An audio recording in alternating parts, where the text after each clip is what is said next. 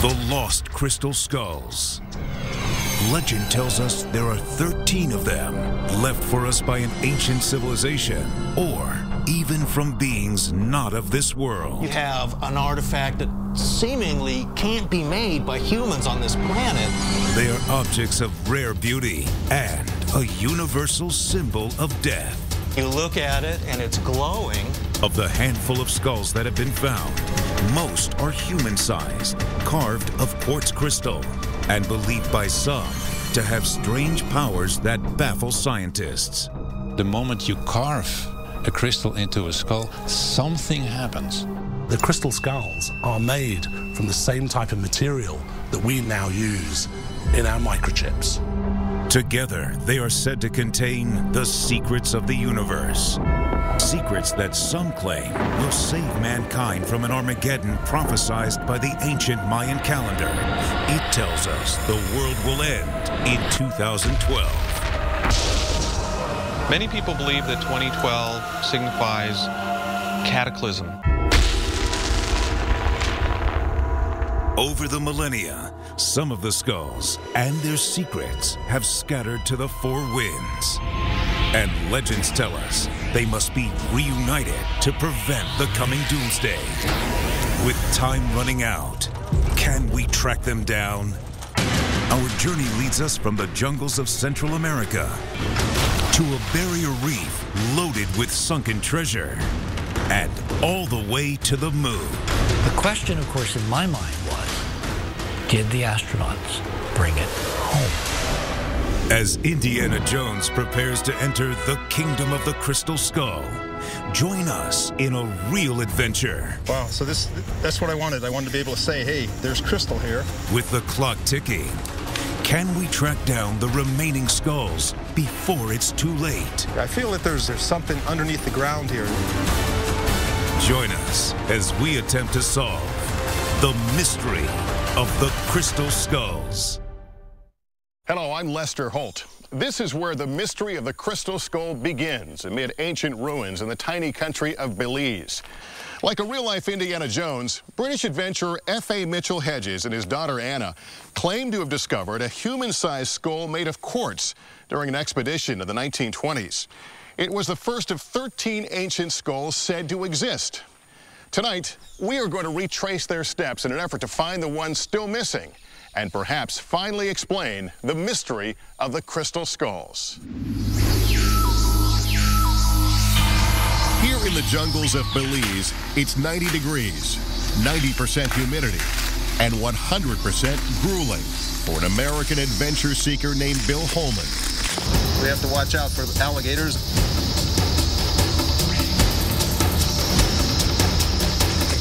I feel that there is something here. Officially, he's trying to retrace the steps of a famous explorer. But little do the people here know, he's searching for his personal holy grail. He's going to track down a missing crystal skull. Yeah, this is an opening. This is a doorway, and I, oh, I'm going to try to open it up and see what's down in this thing.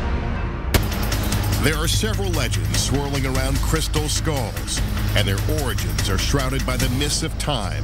Some say the crystal skulls were carved by Maya artisans and offered to the gods. Others say the skulls were created by an ancient and advanced civilization, like Atlantis. And there are those who believe the skulls are extraterrestrial objects, left here as crystal repositories of great knowledge. Now, although this might sound at first a little far-fetched, one has to remember that the crystal skulls are made from the same type of material that we now use in our microchips.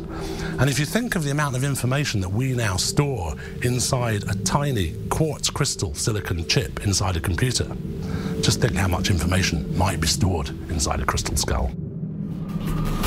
Only a handful of scientists have been able to examine the crystal skulls, and the results of these experiments are mixed.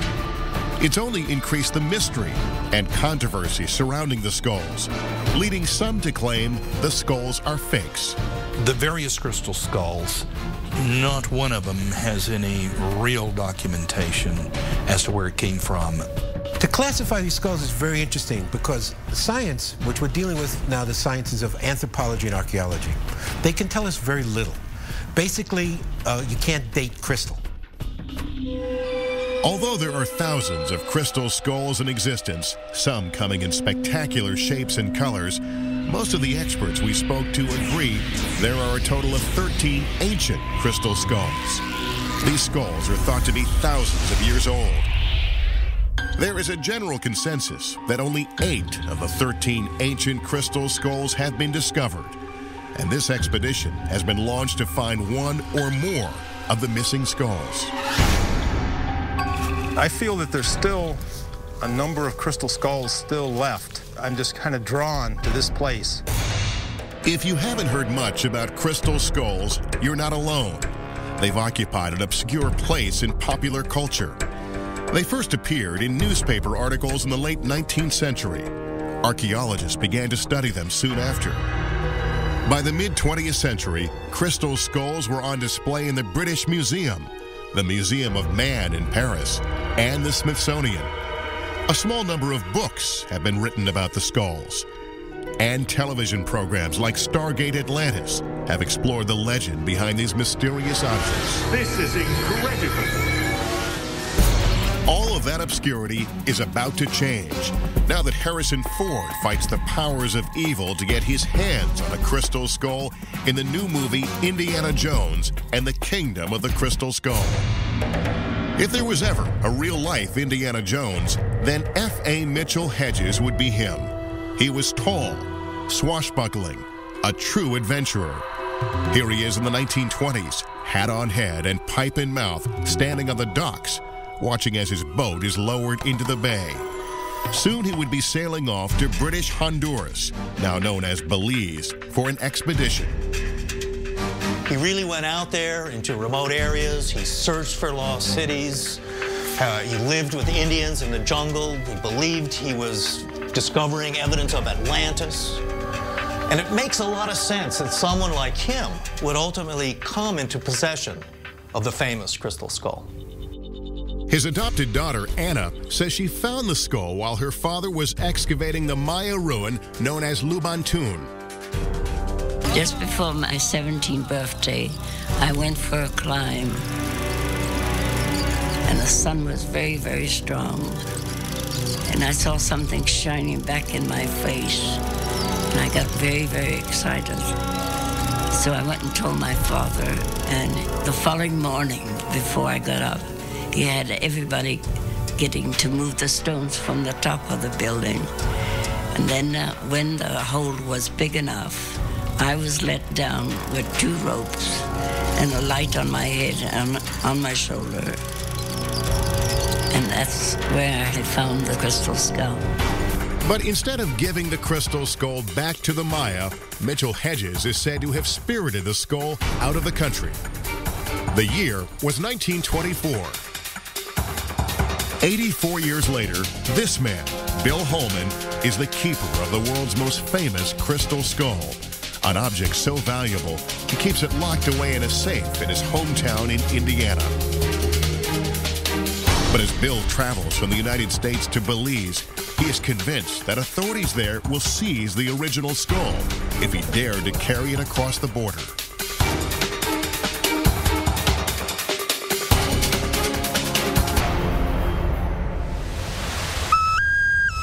Do you remember the first time you came to this site? Uh, I remember the, uh, I came here with Anna Mitchell Hedges. Yeah. Here at Lubantun, Bill Homan unveils Yeah, an right exact I'll you. replica of the Mitchell Hedges skull. Yeah, can I take a look at it? I'd love to see it. Like you say, the original is in two pieces. It has the, the bottom half jaw, and it's hinged to the top half. This right here is exactly a replica, so you can see... It's the same size? Same size, same shape. Exactly, but if you check out the workmanship, it even has the little ridges that a human skull has. And, and what do you say to those who just don't believe the story of, of how it was found? Well, you know what? You know, I'm very happy with everybody's story. You know, it doesn't bother me at all. I want, you know, everybody to, it's good to have their opinion, you know. Very few scientists have had a good look at the Mitchell Hedges skull. In the mid to late 1960s, Anna Mitchell Hedges loaned the skull to an art restorer, the late Frank Dorland. And just before she arrived to get it back, Dorland sneaked the skull into the crystal laboratories at the Hewlett Packard Corporation.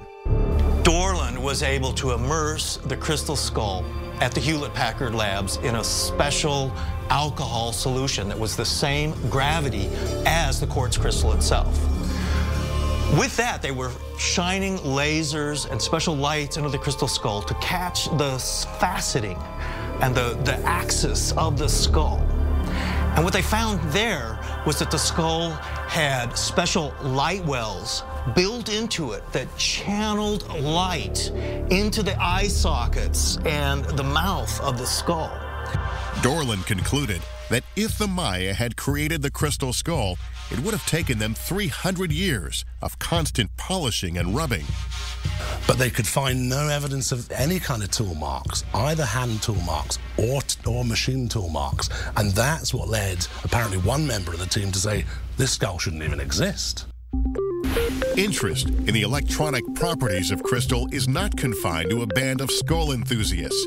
NASA scientists have been experimenting with crystals for decades, trying to discover new ways to build high speed semiconductors. NASA wanted uncontaminated crystals, and the best place to grow them is in zero gravity. But there may be a darker side to these tests. There are things government deems so dangerous, it will not reveal them under pain of whatever. Richard C. Hoagland is a writer, researcher, and former NASA consultant. He sees a link between these NASA experiments and the tests performed on the Mitchell Hedges skull at the Hewlett Packard Labs.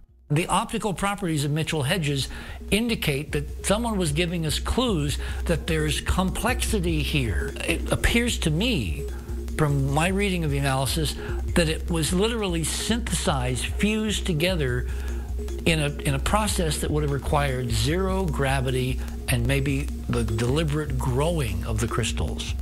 The question Hoagland and others are asking is what kind of advanced civilization was capable of designing and carving a crystal skull? When it comes to crystal skulls, you get as many opinions as you have people. You know, everybody has their own opinion. Bill Homan's opinions come from the source. He met Anna Mitchell Hedges in 1981, and despite a 30 year age difference, the two were married in the late 1990s. As he got to know Anna, Homan grew transfixed by the story she told about her famous father.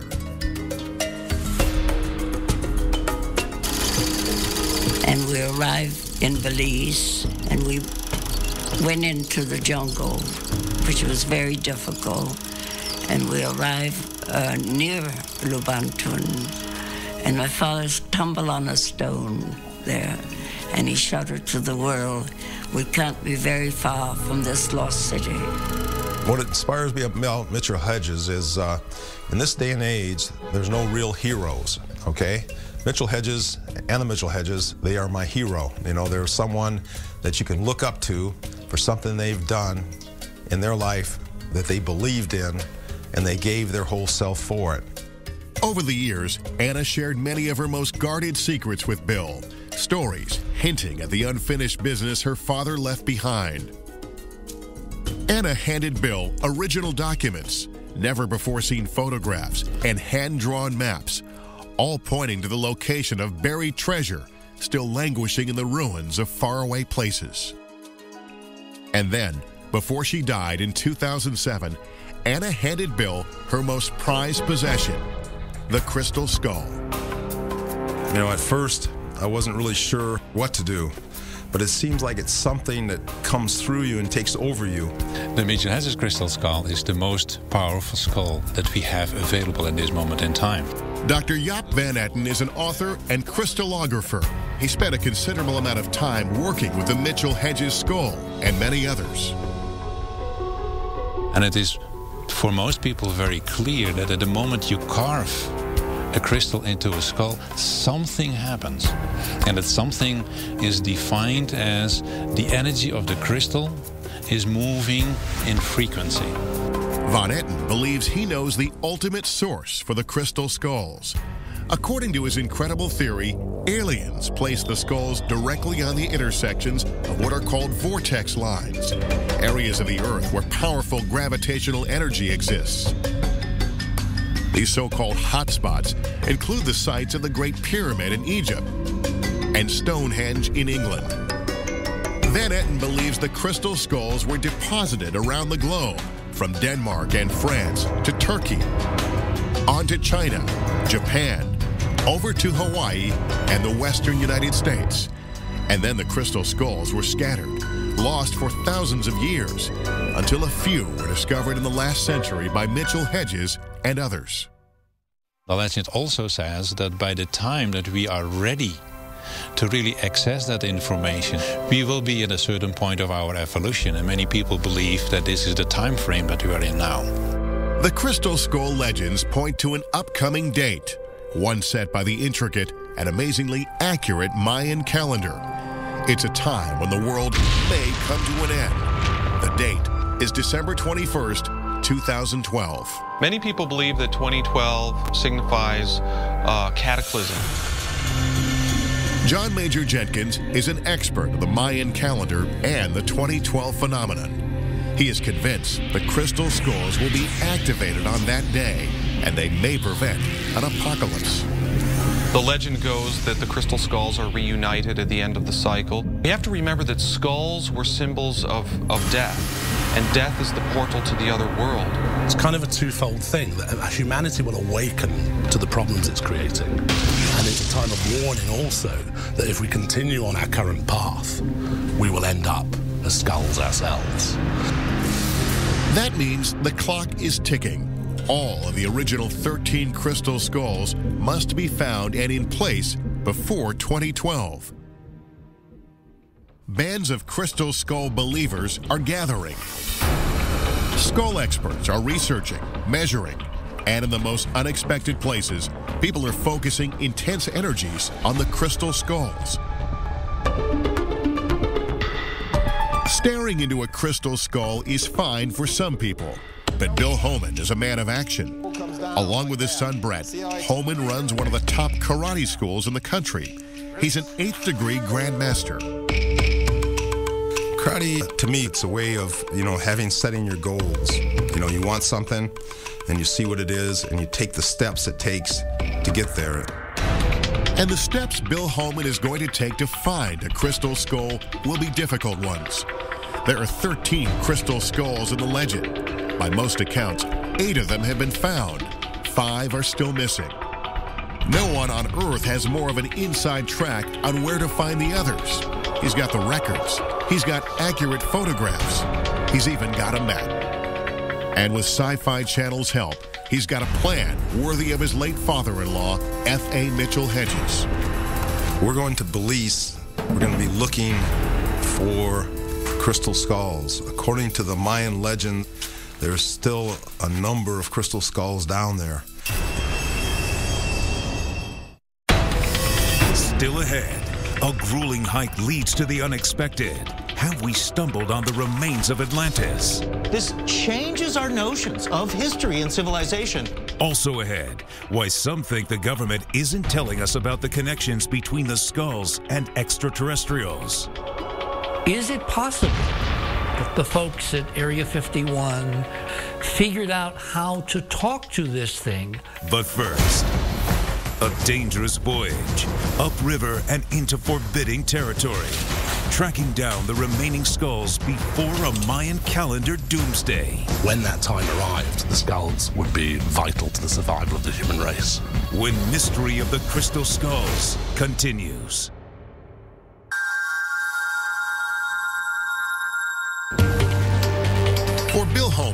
Homan, the race is on to find at least one of the missing ancient crystal skulls.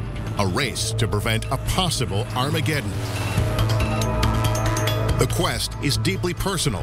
He's determined to fulfill the dying wishes of Anna Mitchell Hedges, who is said to have found the skull here in southern Belize in 1924. She always believed there were other skulls here. Uh, good morning. Welcome to Punta Gorda.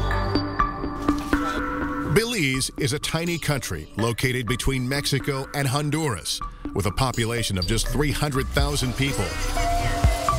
But at the height of the Maya Empire, millions of people lived and worshipped here.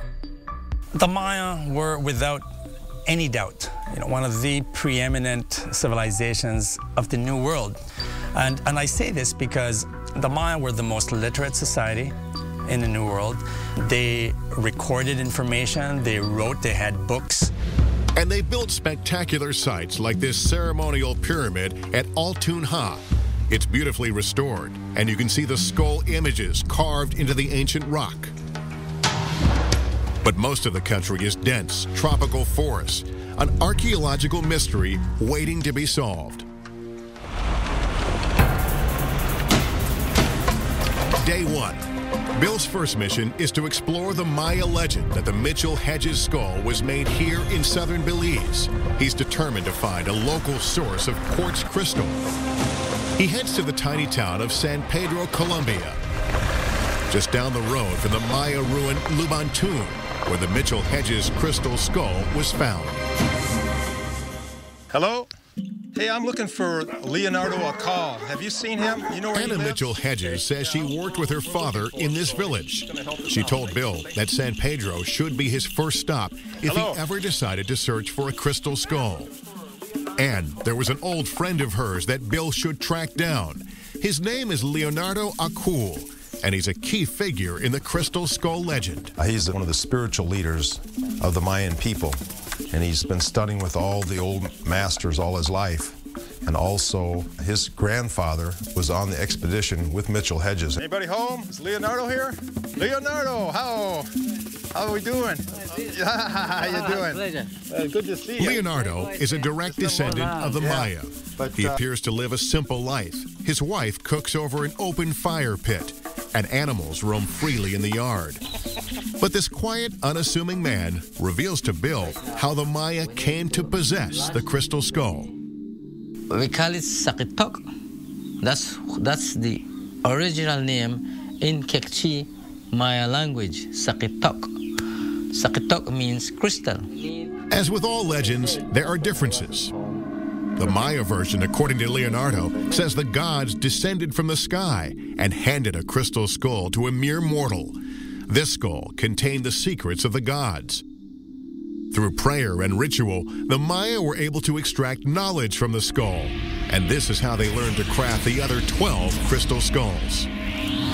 The Mayas are just like us today, but they are more knowledgeable, they're wise, they're very intelligent. Since that time, the crystal skulls have been linked to Maya ritual. So here is the scenario that people might have seen.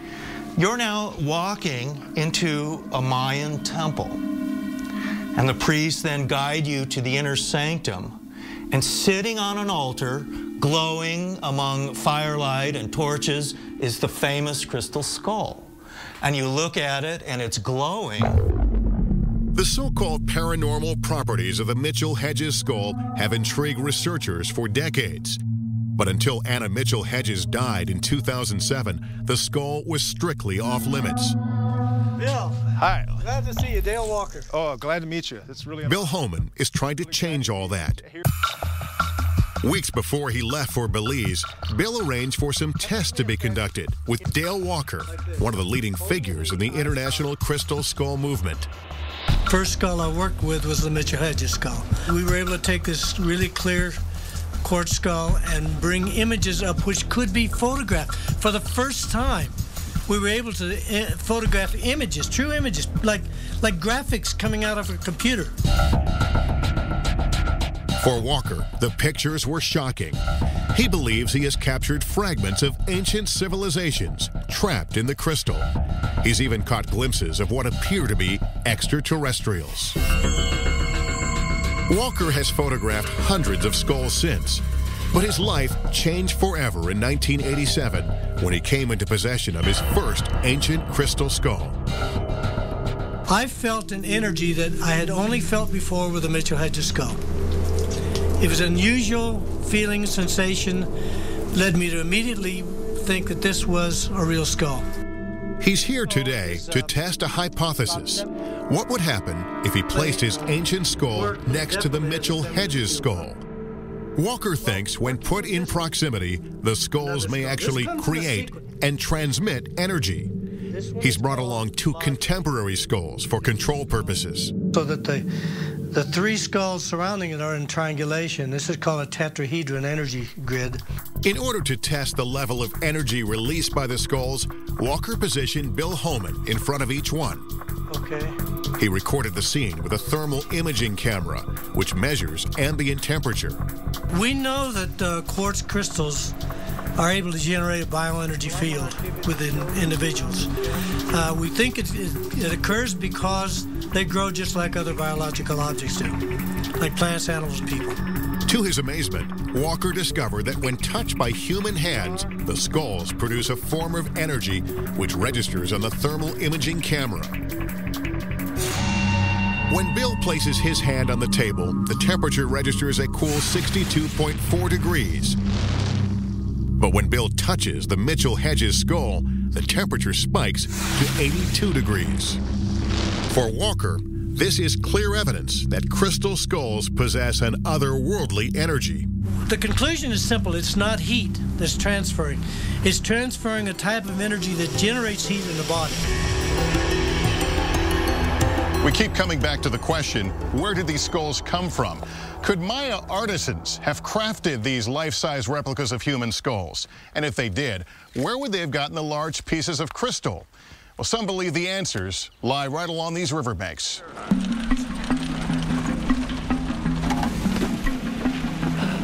Early the next morning, the local Maya spiritual leader, Leonardo Acul, leads Bill Homan to the banks of the Columbia River. Let's go. Let's go. Leonardo knows of a spot five miles upstream where large chunks of quartz crystal are rumored to have been found. The only way to get there is in one of these dugout canoes. There's alligators in here, from what I understand, so we have to watch out for alligators.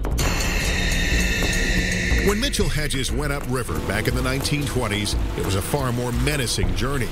There were swarms of mosquitoes, rough waters, and pounding rain. Things got so tough, in fact, the hardened explorer was forced to turn back. By the time we reached safe ground, it was almost dark. We were covered in thick clay. Mosquitoes droned around us in millions, with that most hateful of all tropical sounds. So began a dreadful night. Sleep was impossible. As Bill and Leonardo battled their way upriver, they faced the same thick swarm of mosquitoes. And several times, Bill gets out of the boat and drags it over the rocky bottom. After many hours, they finally arrive. Chris? Hi, I'm Christopher. You must be Bill. I'm Bill. Glad Very to meet you. nice I've heard a lot about you. They're met by an American couple, Christopher Nesbitt and his wife, Dawn Dean. They run an agricultural research farm here. Leonardo brought Bill to this site because many people, including Dawn, say chunks of crystal can be found right here in the riverbed just below the farm. I found this crystal in the river, right over here. I found a lot of them about the size of a grapefruit, but then some of them even as large as, say, a cantaloupe. So you mean about the size of a, a crystal skull? It's hot and humid, and the bright sun makes it difficult to find the right type of rocks. All right, mostly right ahead in here is where I have found crystals before. The Maya were very secretive about the source of their crystals. Could it be hiding here in plain sight? Like this rock here, that could that could have it. That could it. Wow, that's a nice shape, That isn't it? Yeah. Oh, look at that. The only way to find out if crystal is inside is to break open the rocks. They pound rock after rock, splitting them open, only to be disappointed. And just when they're ready to give up, Hmm. Wow, look right there. Look at that one, right down in there. Look at that. Wow. Has lots of little round ones. Yeah, but see how look at how different yeah. Colors. It's beautiful. I think that crystals were seen by the Maya and many Native American groups as a special kind of substance. In some traditions, it's thought of as solidified light. That's pretty, that's good. The crystal Bill found in the river isn't quite big enough to carve out a life-size skull. But to him, it's clear evidence that the Mitchell Hedges skull could have been made nearby. We're one mile from uh, Lubantun with crystal. You know, if there was crystal here, I'm sure that the ancient Mayans would have been able to find it. Oh, yeah. And would have been, been able to use it.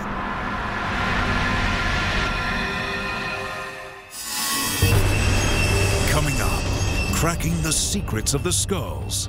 Will it explain a host of other ancient mysteries? The crystal skulls appear to be produced by a technology that we can't reproduce. Perhaps the answer is located far, far away on Mars. What we saw was a mesa that looked kind of like a quirky face. Back on Earth, finding an ancient Maya city. Or is it evidence of Atlantis? There's something underneath the ground here. When Mystery of the Crystal Skulls continues.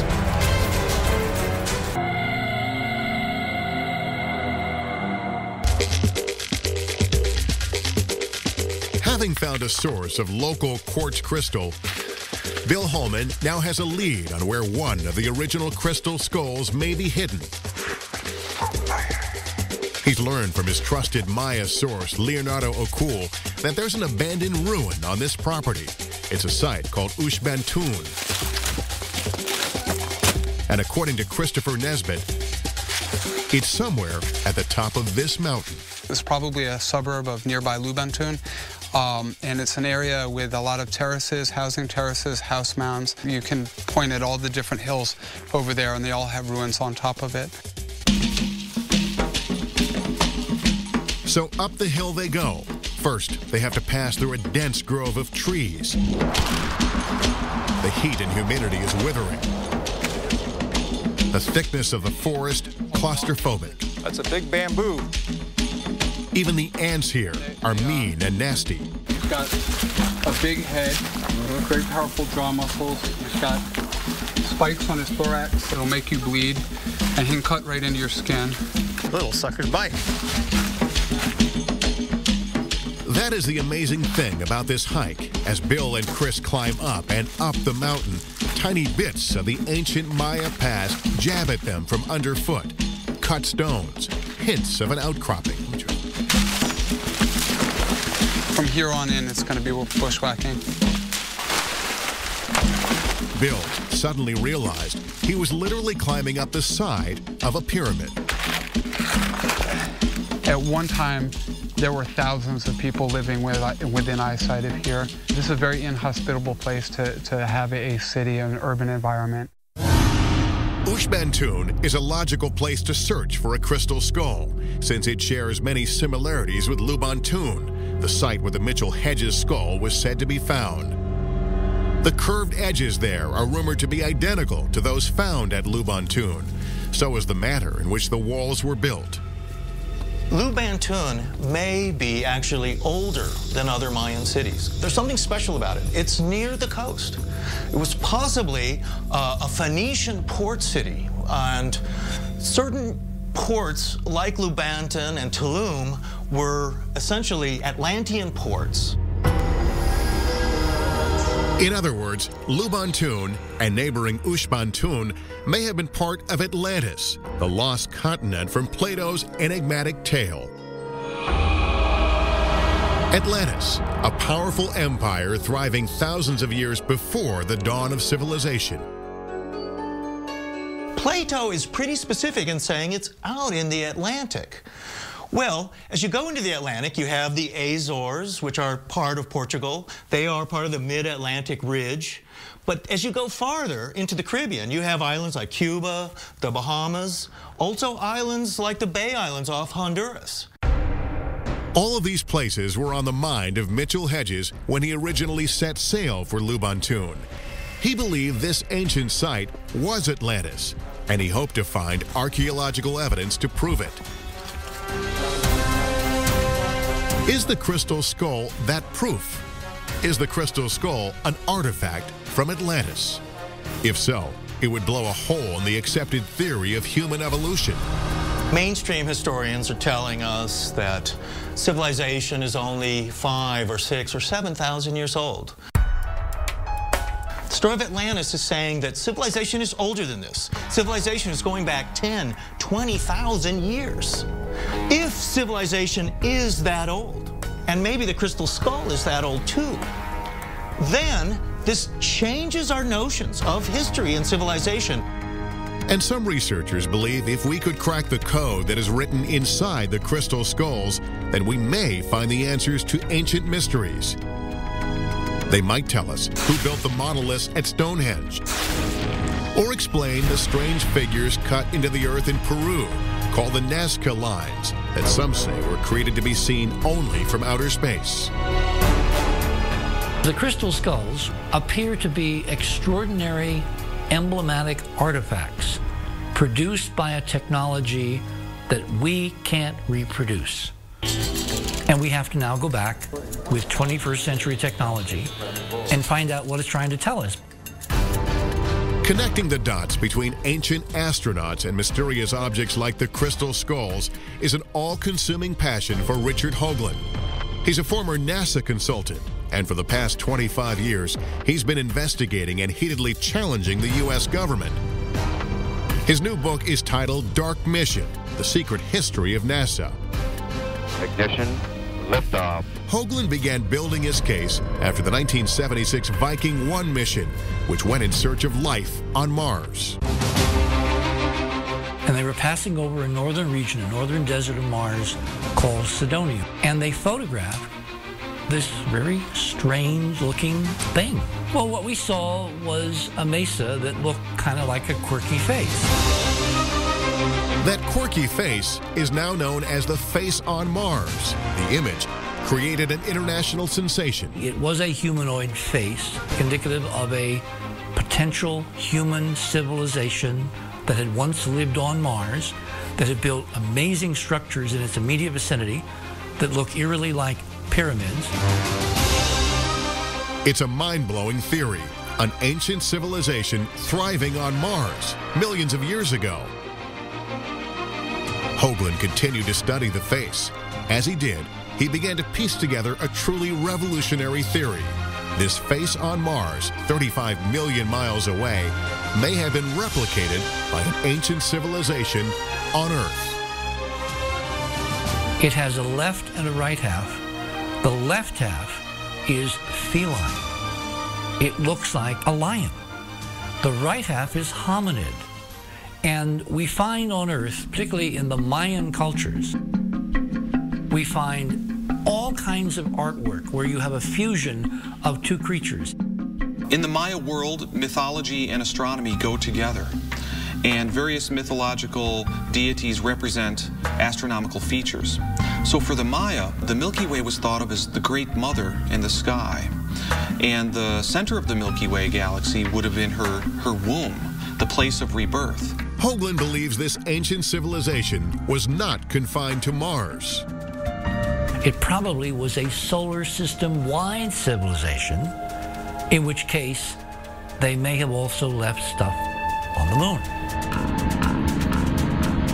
And that stuff on the moon, claims Hoagland, was made of crystal.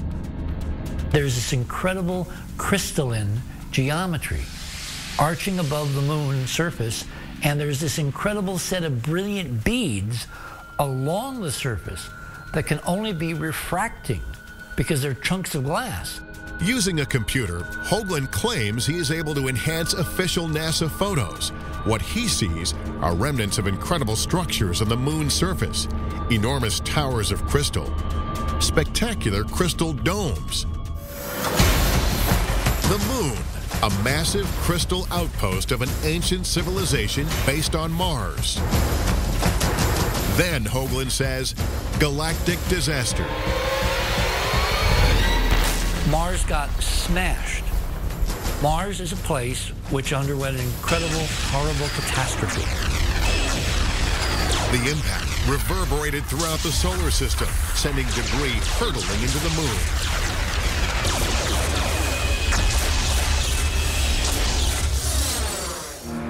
Imagine the moon as an archaeological site. all we are left with, says Hoagland, are shards, ruins, blasted artifacts.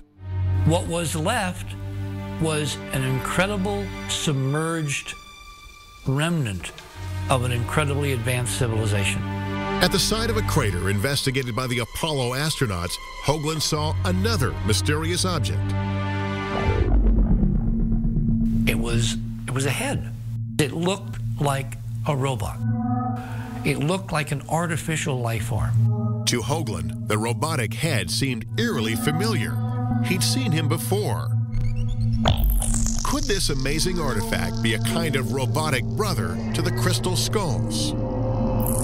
Imagine if you have an artificial life form which had a power source, which was killed, but whose head, brain, memory circuits, computer, whatever you want to call it, is in perfect preservation in a vacuum. The question, of course, in my mind was, did the astronauts bring it home? But if the astronauts actually encountered fantastic remnants of an advanced civilization, or perhaps even a robotic head laying in an ancient blasted crater, why hasn't NASA told the world? Hoagland believes NASA has sworn the astronauts to secrecy. And perhaps for good reason national security. A few years after the National Aeronautics and Space Administration was formed, it commissioned a study from the Brookings Institution. They came up with a document that in April of 1961 was submitted to Congress that unadvised public disclosure of this evidence could lead to the literal destruction of civilization. NASA has refuted Hoagland's claims and refuses to comment on his allegations. Still, Hoagland wonders if NASA has been working to unlock the secrets stored inside objects like the robotic head and the crystal skulls, searching for prophecies written by a lost civilization. If you were one of these ancient, incredibly sophisticated cultures and you knew that terrible things were going to happen to the planet and you wanted to leave libraries for the, your future descendants so they could reconstruct what it was that had happened and how to avoid it, maybe that's the mode that you would choose.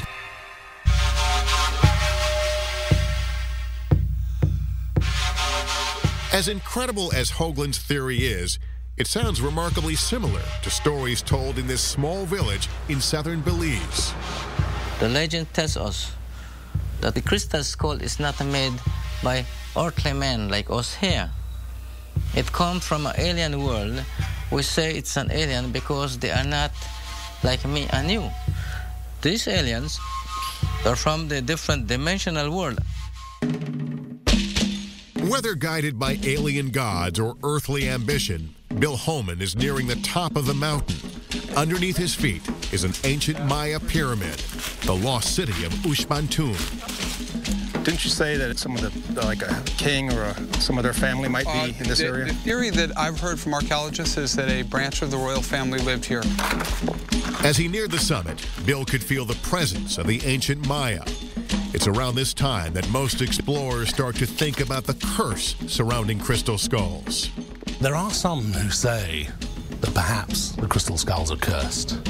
Um, in fact, Frederick Mitchell Hedges described his skull as the skull of doom and said that it had been used in ancient ceremonies to will death. Okay, Bill, well, this is about as far as we can go without actually hacking a new trail. I'll hand you off and let you go. According to Christopher, the top of the pyramid is up there somewhere. So Bill will have to hack and hack his way through the tropical forest. Finally, Bill stumbles onto something.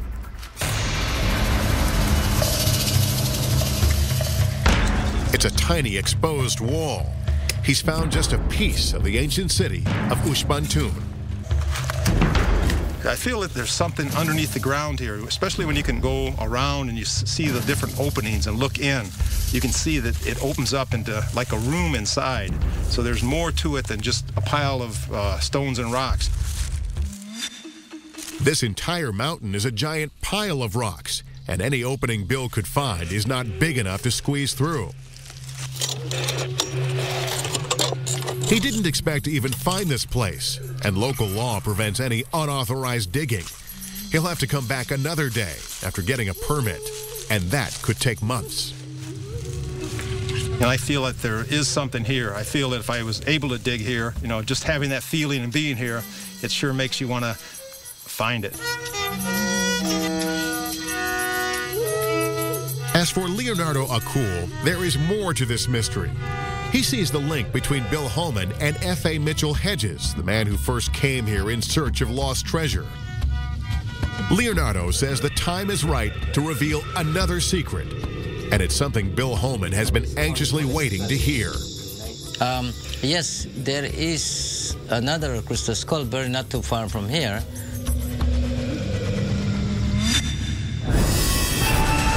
In the next hour, we widen our search as the hunt for skulls brings us onto the high seas and a spot littered with buried treasure. We're going to go down and scour the area and see what we can come up with. But with underwater currents threatening, it's a little dangerous too. Things are about to get rough.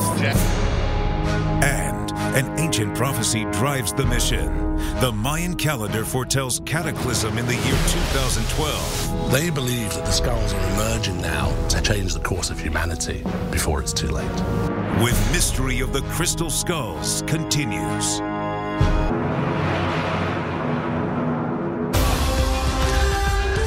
Like the incredible adventures of Indiana Jones in the movies, real life adventurer Bill Homan is on a mission. Here in Belize, Bill is hoping to find another crystal skull, one similar to the skull purportedly found by Mitchell Hedges more than 80 years ago. Maya legend says the skulls contain the secrets of the gods. Others believe the skulls will reveal profound wisdom from an advanced civilization said to have founded the lost continent of Atlantis, once the code is broken by finding all 13 skulls. So the search is on, and Bill has just received a tantalizing promise from Leonardo Akul, his friend and a spiritual leader to the Maya, who still live here in Belize, on the lands their ancestors inhabited centuries ago. Leonardo knows where another skull is hidden, and he will take Bill to it. But first, Bill will have to be patient until the time is right to go there. With limited time, Bill decides not to wait around, but to travel to the island of Roatan, just off the coast of Honduras for a couple of days. Mitchell Hedges lived on Roatan for seven years in the 1930s, and Bill says there is some evidence that he may have even found and hidden a second skull on or around the island. Local diving legend Doc Radawski knows more about these waters than anyone. When Mitchell Hedges came here and was working here, it was very primitive. There were no roads, everything moved by boat. There was no electricity, no running water. Pretty much like Treasure Island uh, in Robert Louis Stevenson's book. Buried treasure also attracted Mitchell Hedges to Roatan. For centuries, Roatan had been a base for pirates. The most famous and most wanted was Henry Morgan. Morgan robbed Spain's Caribbean colonies during the late 17th century, even seizing Jamaica from the Spanish and converting it into an English colony. Over time, dozens of ships were lost. In Roatan and around Port Royal, there's probably treasure to be found. The amount of buried treasure is probably anybody's guess. Lee Matuta was just a kid when Mitchell Hedges arrived. was staying on the key digging,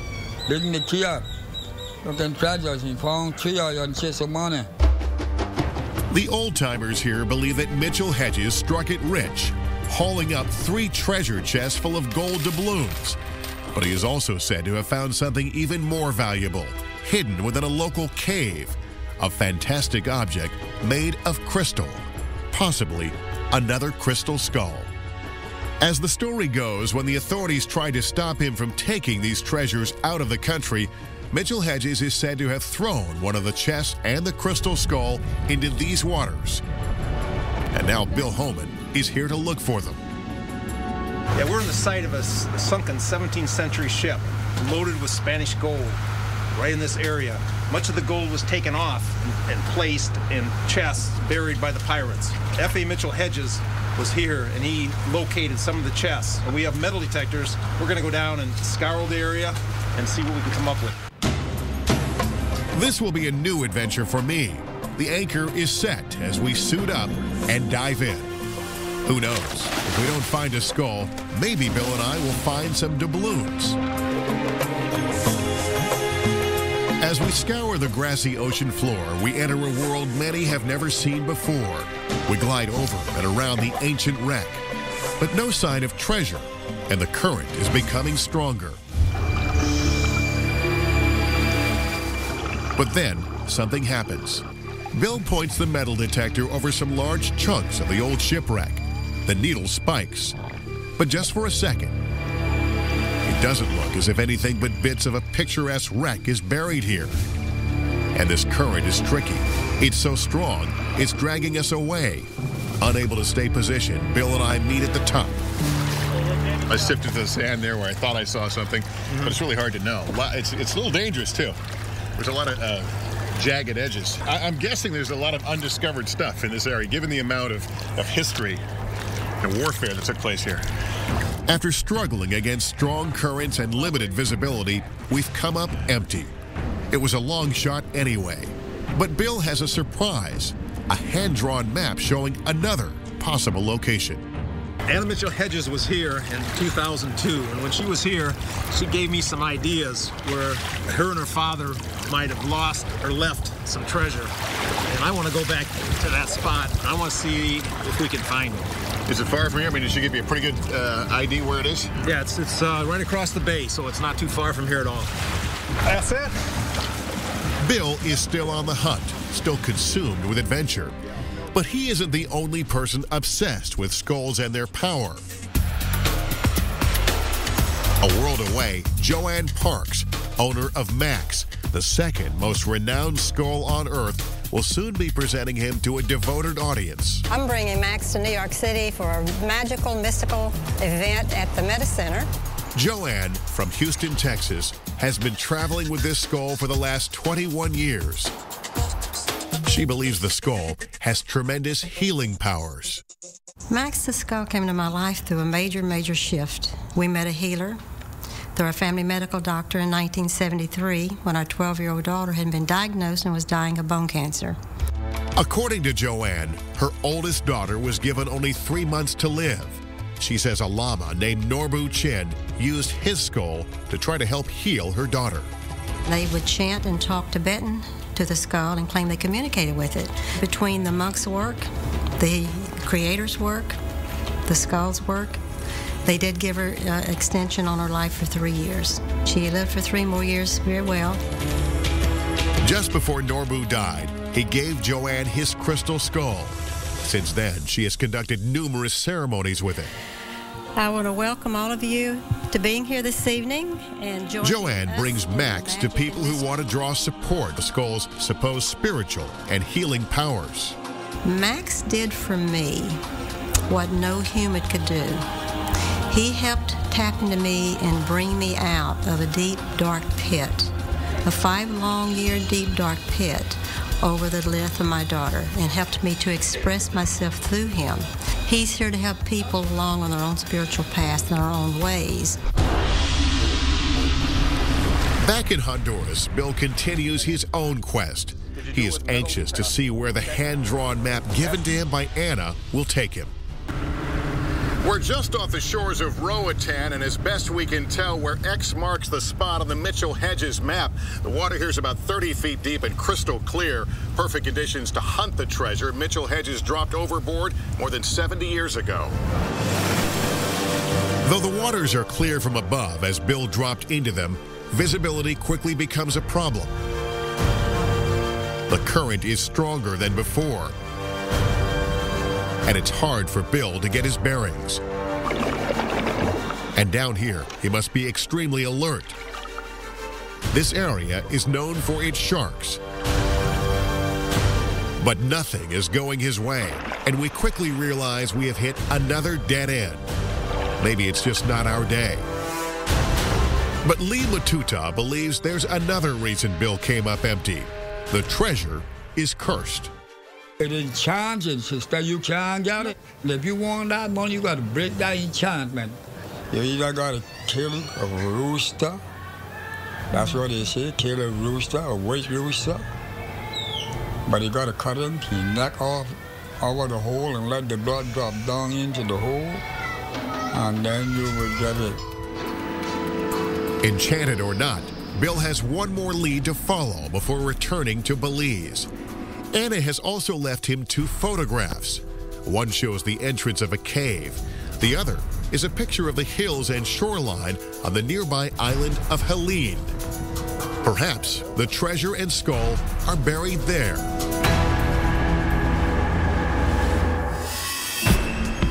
Just ahead, we go into the lab to find out what science tells us about the skulls and a possible connection to extraterrestrials.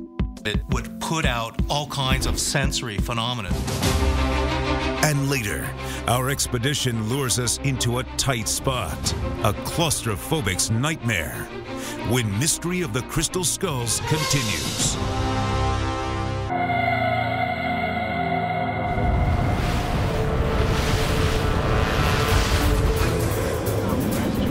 Bill Homan and I have been following Mitchell Hedges' footsteps. In Honduras, we dove for pirate treasure, and Bill tried to track down another lost crystal skull underwater. And he will soon be returning to Honduras to follow clues in a mysterious photograph left to him by Anna Mitchell Hedges. A photograph depicting the site of a cave where a crystal skull may be buried. Now, back in Belize, Bill continues his quest. We have returned to Lubantoon, the place where the Mitchell Hedges skull is said to have been found. And I have a few hard questions for Bill, hoping to get to the bottom of where the skull ultimately came from.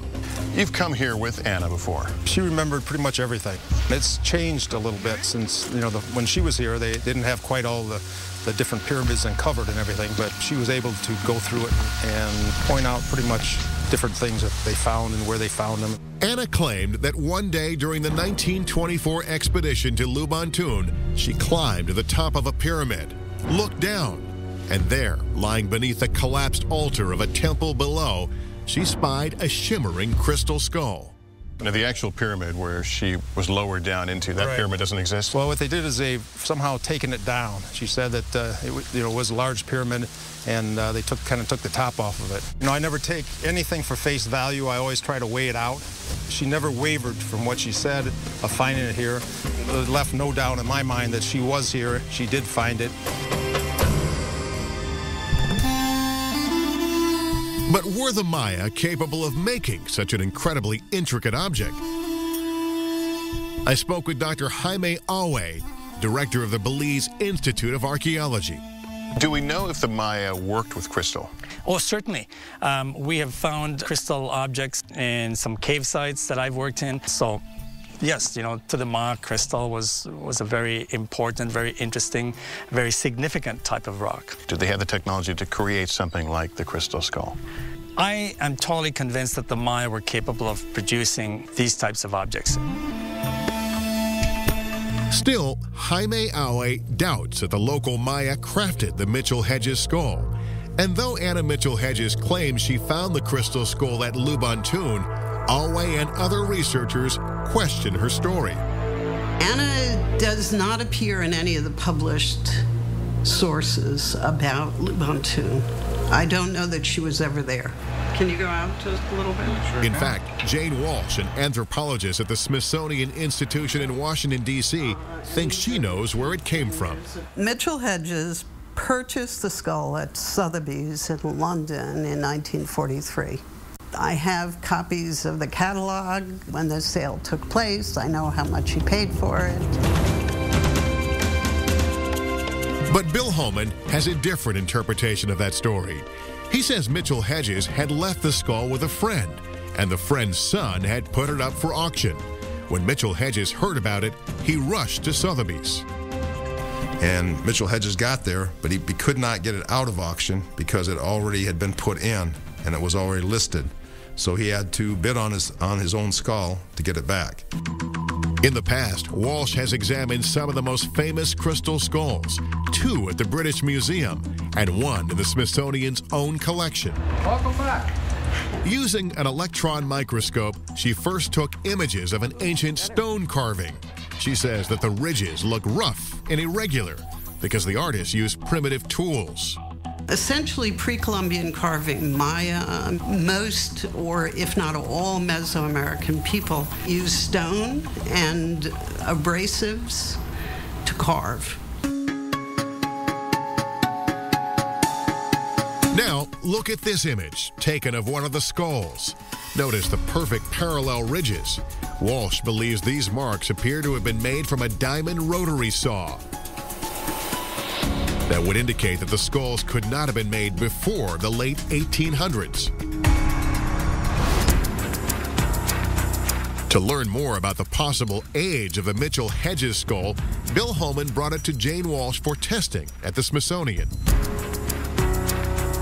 I took some silicone molds of some of the carved elements of the skull, which I later looked at under a scanning electron microscope. They indicated to me that it was carved using quite modern equipment and high speed polishing tools, and certainly not consistent with the story that it's pre Columbian. So, does this mean the Mitchell Hedges skull is not one of the purported 13 ancient skulls? Not necessarily. Some crystal skull experts see those same tool marks as evidence that a civilization vastly superior to our own must have made them. And they mention other scientific tests that disclose some incredible characteristics. Remember the Hewlett Packard laboratory test done by Frank Dorland in the 1970s? In that examination, the reported properties of the Mitchell Hedges skull seemed miraculous, almost otherworldly. Frank Dorland, who studied it for Hewlett Packard, actually came to the conclusion that the skull might well be over 12,000 years old. And what he found about the crystal skull completely amazed him. He found that it would put out all kinds of sensory phenomena, from sounds to smells, that particularly the skull would actually glow and light up at certain times. And they also discovered that the skull was made from a particular type of quartz known as piezoelectric uh, silicon dioxide, which we now use in all our electronic devices for information storage and communications. So maybe there's something in the original legend that said the skulls are containers of great knowledge or means of communication between the worlds. So think of it as a kind of a solid state CD a three-dimensional CD, and the optical properties of Mitchell Hedges indicate that someone was giving us clues that there's complexity here you should preserve this. You should iconize it. You should worship it. You should keep it safe until you have evolved the technology to read what it says. One of the most interesting things that, that, that some people say they've seen inside a crystal skull is the image of a UFO.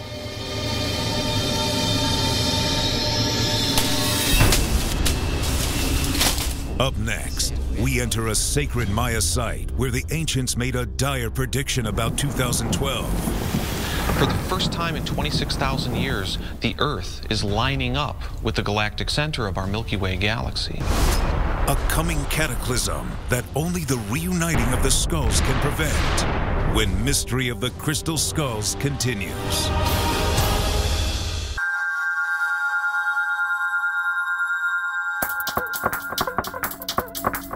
Several of the most famous crystal skulls have been examined, yet more questions have been raised than answered. Anthropologist Jane Walsh believes the Maya were not capable of fashioning crystal skulls. Other researchers say the skulls could even date from the time of the legendary Kingdom of Atlantis, over 10,000 years ago. First mentioned by the Greek philosopher Plato, Atlantis was purportedly a mighty power that conquered much of the known world. Plato said it was located somewhere beyond the Pillars of Hercules. Supposedly, the Atlanteans had a very high technology. They built giant ships, they built giant cities and ports and things like that. They would have been able to work with crystals and create crystal skulls. But ultimately, the story of Atlantis ended in tragedy. At the height of its powers, Atlantis is said to have sunk beneath the sea in a day of terrible cataclysm. Where did they go? Well, the whole idea is that there are earth changes. Occasionally, the earth goes berserk, and there's huge earthquakes, huge tidal waves, tsunamis, volcanoes go off. In 1923, just before Mitchell Hedges journeyed to Belize, famed psychic Edgar Cayce proposed that the Atlanteans used a mysterious form of crystal energy as a power source. Stories of this fabled civilization originally drove Mitchell Hedges to Belize. He was a believer in Atlantis, and he felt also that there were vestiges of Atlantis in Belize, in Honduras, and in certain islands of the Caribbean. And being the kind of character he was, he was determined to prove this. They'd heard rumors of a lost city said to be still buried deep in the rainforest, and he was determined to find it. He hoped that he might find evidence of the lost civilization of Atlantis. What Mitchell Hedges stumbled upon was Lubantun. Lubantin is unusual because it's not built with cement like other Mayan cities. It is built out of perfectly cut rocks, much of them megalithic in size. And Lubantun is therefore unlike other Mayan cities. Which led Frederick Mitchell Hedges to wonder whether if perhaps the people who built the city of Lubantun were perhaps survivors from the Atlantean civilization. If so, they may have had a type of cultural memory of that civilization's destruction. For the Maya also believe in recurring cycles of creation and destruction, and they created a calendar to reflect them. The Mayans were such a mysterious culture, and they were obsessed with astronomy and the calendar and time. It was a cyclical calendar. It went through great cycles. It was way more scientifically accurate than our own, based on the actual movements of the planets and the stars, and they used it primarily to make predictions. The Maya believe the first cycle began in 3114 BC. And one of the most frightening predictions the Maya made was that the current world will actually come to an end in the not too distant future. The 13th cycle, the last one, is coming soon. I'm standing at the site of an ancient observatory. The buildings here provided a fixed location to observe the sun, moon, and stars. The stelae, or vertical stones that surround this plaza, cast a shadow to a central point, marking the exact date of the year. On December 21st, 2012, this stela will cast a shadow marking the end of the Mayan long count calendar and perhaps, according to believers, the end of the world, or maybe the beginning of a new one. December 21st, 2012 is the end of this great cycle of time in the long count calendar. It's basically targeting a very rare astronomical alignment. For the first time in 26,000 years, the Earth is lining up with the galactic center, the center of our Milky Way galaxy. Some believe the alignment could actually cause the magnetic field or polarity of the Earth to reverse, causing major upheavals, massive earthquakes, huge volcanic eruptions, and violent climate shifts across the globe. And they have happened in the past. Scientists say the last reversal occurred about 790,000 years ago. Whatever may occur in 2012 could be directly related to the crystal skulls. The Maya were obsessed with a particular god known as Itzamna, and he was the god of the Earth's axis. He was represented with the image of a skull, perhaps a crystal skull. So this has led many people to speculate that perhaps the end of the calendar will be associated with some kind of shift in the Earth's axis, and that this might be what the Maya were talking about as the end of the current world. But according to an ancient legend, this doomsday scenario can be prevented if all or most of the original 13 crystal skulls are reassembled and their awesome power is released. The galactic alignment is going to set these crystal skulls resonating. They don't all have to be uncovered. In order for this to happen. Uh, so we might actually find that uh, some of them will start announcing their presence.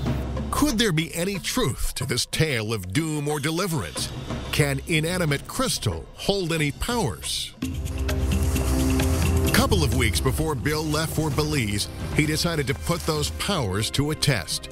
He journeyed to Sedona, Arizona, a place famous for its red rocks and as being a source of unknown and mysterious energy. Bill is here with the actual Mitchell Hedges skull, not the copy, to see if it has any special properties. Being in Sedona, you're in one of the most beautiful places in the world, and the energy here is, is very, very special. And they have these different uh, vortexes all through the area. Author Jaap Van Etten is an expert on crystal skulls. He is also an authority on earth energy lines and vortexes. Jaap has invited Bill to Angel Valley Ranch, a potent vortex site. So we're going to go set the crystal skull in the center of it, and we're going to do a ceremony that activates the portal at that point. It's supposed to send the energy through the world. Believe that the crystal skulls work through the different earth energies, through the different grid systems of the earth. So by going to places of power and activating the skull, we activate those grid systems. We are with 12 people. And the Mitchell Hedges crystal skull is considered to be the 13th. So we represent, you can say, within this ceremony, the 12 other skulls. We will literally represent the energies and draw them in to the best of our abilities.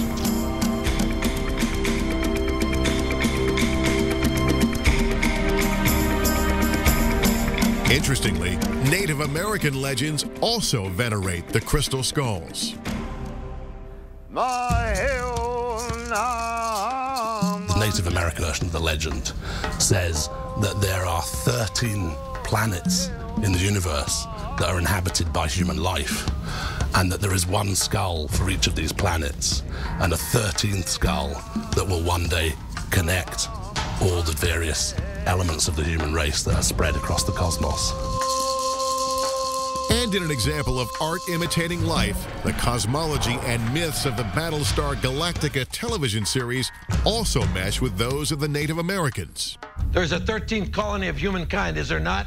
Yes. The scrolls tell us a 13th tribe left Kobol in the early days. They traveled far and made their home upon a planet called Earth. Just ahead, a tip on another skull leads us to a remote island and into treacherous territory. Also ahead, why some say the skulls are at the center of a government conspiracy of silence. Can we learn the truth before the Maya doomsday of 2012? It's a time of warning that if we continue on our current path, we will end up as skulls ourselves. When Mystery of the Crystal Skulls continues.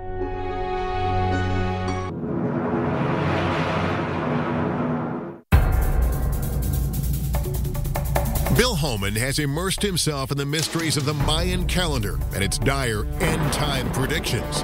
He has taken the Mitchell Hedges skull to Sedona, Arizona to tap into sacred power points. And now, for the last time, Bill returns to the Bay Islands of Honduras. He has a photograph left to him by Anna Mitchell Hedges. It could lead him to the location of a lost crystal skull. Just to the east of here is the island of Helene, which is almost as wild today as when Morgan the pirate sailed these waters. It's a place also known for its many caves, and in one of those caverns, Mitchell Hedges is said to have hidden another crystal skull. That idea keeps driving Bill forward. And it was made of pure crystal. It was uh, enchanted by the natives. They said it was enchanted, so they left it down there and they reburied it in a different location. So it's still down there. Anna gave Bill two photographs taken by her father in the 1930s. One is of the coastline. The other depicts an entrance to the cave he desperately wants to find. There's a lot of people you can meet down there, and they have the stories. And we're going to meet the right people, and they're going to be able to bring us to some of these treasures and these things that are still down there. One of those people is local caving expert Ron Ryan. Bill has given Ron the photo of the coastline, hoping Ron may be able to identify the area and lead Bill to the caves nearby. We navigate between the mangrove swamps and the shore, and finding the spot is harder than it looks. It's been more than 70 years since the picture was taken, and almost everything has changed. We're looking for caves. Most of the caves seem to be right in the middle of this ridge. Okay. Right in the middle of the hills right there. So if there is a cave, it'd be right there. Ron finally thinks he's found it. Looks like a rock right there. Amazingly, he's at the exact spot depicted in the photo taken by Mitchell Hedges in the 1930s. Gotta be it. There's a hill right here. It Just goes up. My God. But as Bill prepares to go ashore, there is resentment brewing back in Belize. My personal belief is that Crystal Skull should be brought back to Belize and either they put it into the museum or maybe displayed by Lubantun where it is found. And I think its rightful owner is the Mayas. So I think it should be back in its right place. I should think it belongs to Belize. That, that's my idea. I think it should belong. To whatever from here belongs to here. It's, it's, it's uh, property of Belize, and I think it probably should be returned back home. And the time for that return may be approaching quickly. For many believe it is critical for the skulls to come together as soon as possible. The native elders refer to the period of time that we are now entering as the time of the awakening or the time of warning. So they believe that the skulls are emerging now to help us awaken, to help to warn us that we must change the course of humanity before it's too late. And if the conspiracy theory involving NASA has any truth to it, the U.S. government may be on the hunt too. We will build new ships to carry man forward into the universe, to gain a new foothold on the moon, and to prepare for new journeys to the worlds beyond our own. On January 14, 2004, President Bush declared that the United States would set up a space station on the moon by the year 2015. Richard C. Hoagland thinks our renewed interest in the moon has to do with his theory that Apollo astronauts found a robotic head on the moon that may be related to the crystal skulls. Is it possible that the reason we're all suddenly rushing back to the moon now is that after 40 years, the folks at Area 51 with expertise from Caltech and MIT and Los Alamos figured out how to talk to this thing, and it told them of the extraordinary wonders that are waiting on the moon. Meanwhile, back in Honduras on the island of Helene, and with the pressure on, Bill Homan and Ron Ryan think they're close to the underground caves that may contain a crystal skull. There's an opening up high. Yeah. Pushing further up the mountain, they find an entrance to a cave remarkably like the one in the Mitchell Hedges photograph. It's guarded by a huge tarantula. A bat just flew on my back. Bill is on full alert. He's never been so deep underground. This cave is a very tight fit, and there are bats, spiders, and poisonous insects at every turn. In caves such as this one, the ancient Maya conducted arcane rituals and even human sacrifice. Who knows what Bill and Ron may come upon next? But they don't give up. The descent is becoming dangerous. Ron almost falls off a crumbling oh, oh. ledge. Okay. But they continue until they can go no further. Hey, Ron, if you were here, where would you put the crystal? Where would be a good place to hide it? Well, I'd probably go down the smallest, deepest hole I could find, and where I'm standing here is actually, I can see down this hole over here quite a ways, but boy, I couldn't get in there. And uh, probably if I really wanted to hide it, I would have put it down in that hole and then just buried it again. But if there is a hole below, it's almost impossible to get to it. The entrance is sealed over. It's solidified in there, so it's uh, almost like somebody poured cement on top of it. So, I mean, that would be a perfect spot to hide something like that. If something is hidden, there is no way to get to it without blowing a hole through the rocks with dynamite. And that approach could destroy the site completely. Basically blasting, uh, getting underneath this floor here. Strange as it seems, there may be another reason not to continue. Like the buried treasure in Roatan, if there is a crystal skull here, Bill half jokingly believes it actually may have a curse upon it. They said it was enchanted. That's why they left it here. And maybe uh, maybe the gods are, are putting protection on it. What do you think? I would believe that. I would think so. It probably belongs here, and that's where it wants to stay. Bill once again returns to Belize and to his friend Leonardo Akul. Because Leonardo trusts Bill and throughout this adventure has found him worthy, he is about to reveal an incredible secret to him. There is a sacred ancient place, a holy site known only to the Maya of this region, a place that holds an ancient crystal skull. This will truly be Bill's last chance.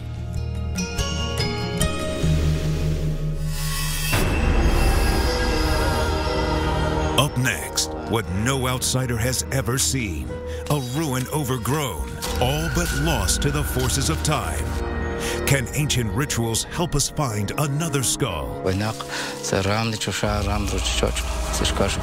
And prevent a prophesized Armageddon when Mystery of the Crystal Skulls continues.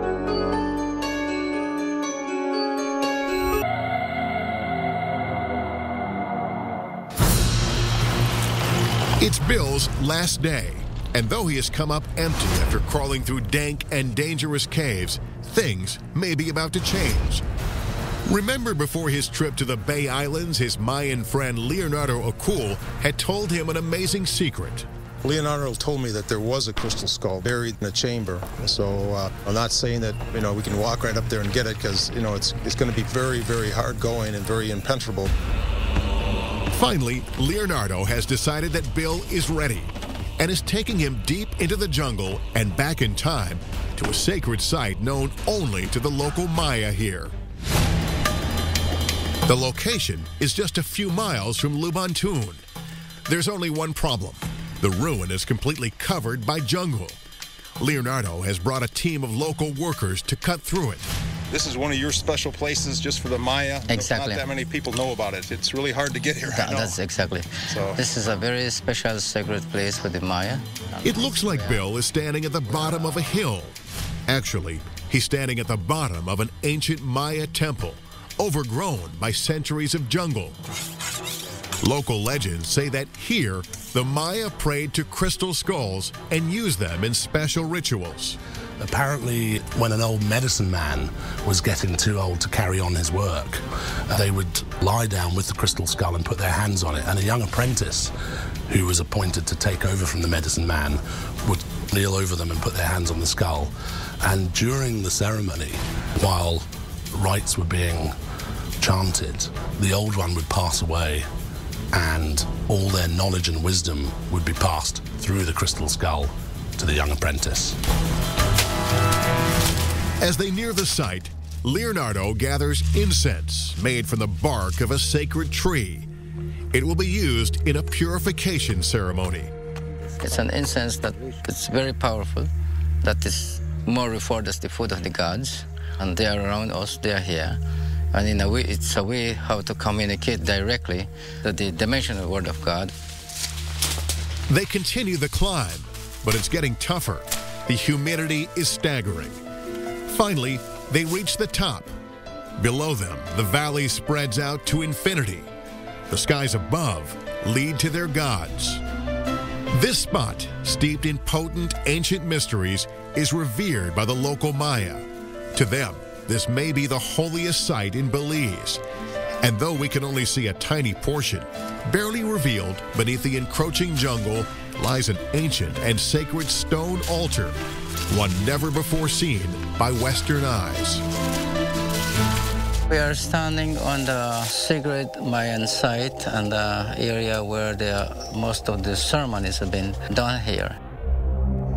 Leonardo marks the occasion by reciting an ancient Maya prayer.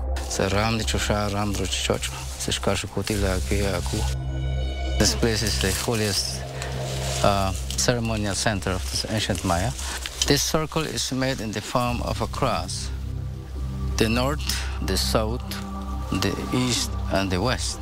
This site here is one of the most holiest areas. It's similar to the Garden of Eden that we heard in the Western world. Leonardo believes that beneath them, somewhere within this pyramid, there is another crystal skull resting in a secret chamber. The energy is here. The energy, yes, yeah. I'm sure. You can feel it, very holy place. Bill feels that he has come close to finding a lost skull hidden somewhere below him. In the movies, Indiana Jones might actually dynamite the site to gain entrance to the temple below.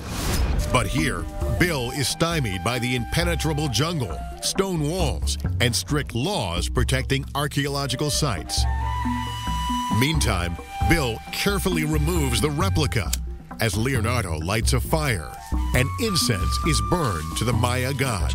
Noso, hawan na chula guchik shubetan. Only kutang na kailo ut natalo al ut la kong kilatur o santil pekain santil sakitok. Inspired by the moment, Bill decides the time is right to give Leonardo one of his most precious possessions a perfect copy of the Mitchell Hedges skull. What I feel it is a way that I can tie the people of the world with the Mayan people together. And I would like you to keep this replica skull for me so we can keep our energies together and work for the good of all mankind. Thanks a lot, Bill. Uh-huh. Uh-huh. For Bill, it's been quite an adventure. He has found three places where missing skulls may lie. One at this sacred place, one at the ruins of Ushmantun, and another in the deep caverns of Helene. Those will have to wait for a future expedition. But in the meantime, he has no regrets. The excitement of it, the you know, the not knowing the adventure, it was just all there. Mitchell Hedges said, life without adventure is not worth living. And getting that feeling and, and being a part of that, it was just unbelievable. Our search for the truth behind the crystal skulls ends where it began, here in Lubantun, site of where the first crystal skull was allegedly discovered. Are the skulls ancient Mayan artifacts or 20th century fakes? Could they have been left behind by a highly advanced Atlantis civilization, as Mitchell Hedges believed? We found evidence supporting each theory, but the real tests may come in 2012 with its threat of an apocalypse. And as each Indiana Jones movie ends with a cathartic scene of the sacred powers of a relic unleashed, so too may the powers of the crystal skulls be unleashed for good or evil. And if an apocalypse of earth shattering proportions will finally engulf the world in 2012, as the Crystal Skull legends predict, then the Maya have named this place appropriately. For in the Maya language, Lubantun means the place of the falling stones.